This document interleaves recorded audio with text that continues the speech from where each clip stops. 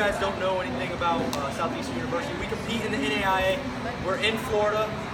Um, right now, the only school competing in Florida. Uh, we're fully funded scholarship program. We compete in the NAIA, like I said. We just finished our third season. We finished 12th in the nation. Had seven national qualifiers and four All-Americans. Right, so that was year three. Next year, we're going to be top five. By year five, we want to be national champions. Right, so you know, we, we train hard, we wrestle hard, we, we try to do everything right. Uh, I am from Florida.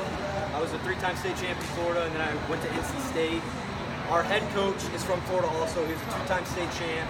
Been wrestling at UTC with uh, Terry Brands and Chris Bono. Uh, he was a round of 12 guy at NCAA, so I think he was a three-time qualifier. So between the two of, us, two of us, we've had a lot of good coaches, and you know we try to combine all of those different styles into our own. So we get a little bit, you know, intensity from Brands. We get the technique from uh, Beasley and Jamill Kelly was my coach at NC State too. So we kind of combine it all into one, and you know we're running our program. We're trying to do things the right way. So we tell our guys we want above a 3.0. We want to win national titles, and we want to do things right on and off the mat. So that's what we're about. Uh, if you guys would like to know a little bit more about Southeastern, uh, I'm going to be out of here in about an hour and a half. I brought business cards. I brought booklets. If you guys want to know anything, grab me before you guys get out of here and talk a little bit. All right? Let's go one, two.